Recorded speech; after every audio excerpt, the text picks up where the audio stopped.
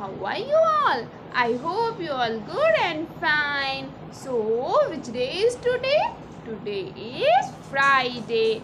F R I D A Y Friday. And Friday को हिंदी में हम क्या कहते हैं hmm?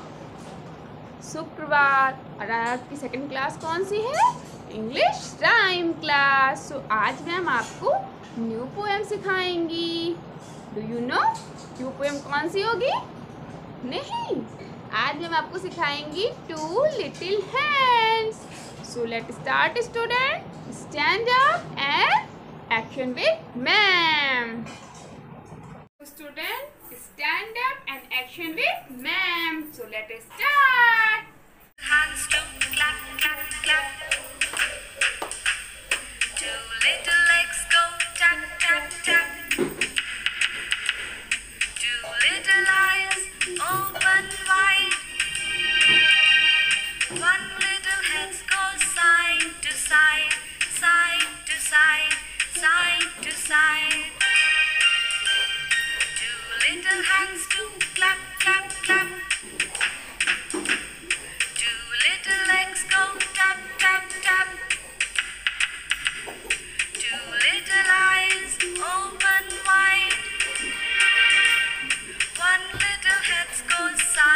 side side to side, side to side.